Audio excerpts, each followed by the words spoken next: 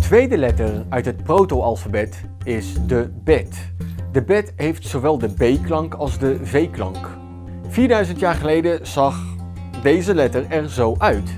Het pictogram vertegenwoordigt een plattegrond van een tent. Bet betekent letterlijk bijt. Bijt is een huis.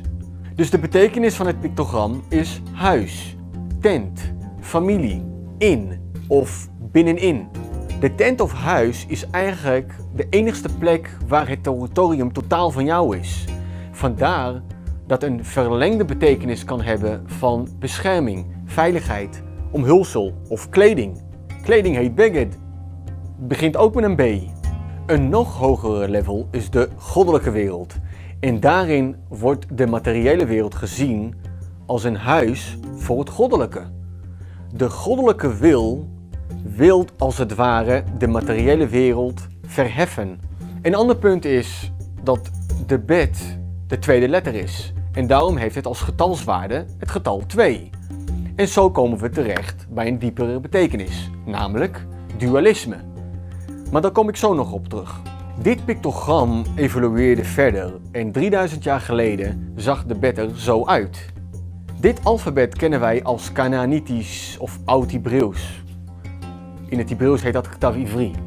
En 500 jaar later introduceerde de bet zich weer in een abstracte vorm. Dit is onze vertrouwde Hebreeuwse bet uit Ktav Ashuri. En zo zien wij hoe de bet zich evolueerde uit een concrete pictogram van een plattegrond van een tent naar de huidige abstracte vorm. De kabbalistische traditie vertelt ons het volgende over de letter bet.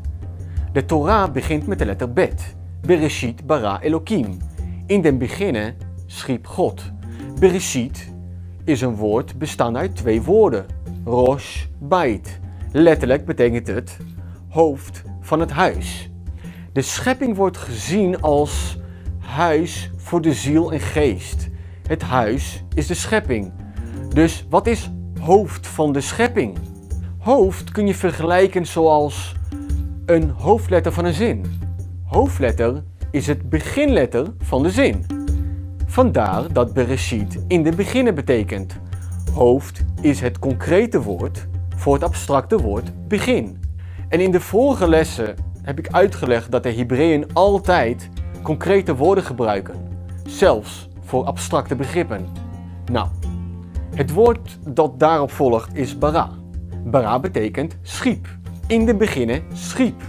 Bara begint ook met een bed. Aangezien de bed twee als getalswaarde heeft, kunnen we nu ook begrijpen waarom dit het concept van dualisme vertegenwoordigt.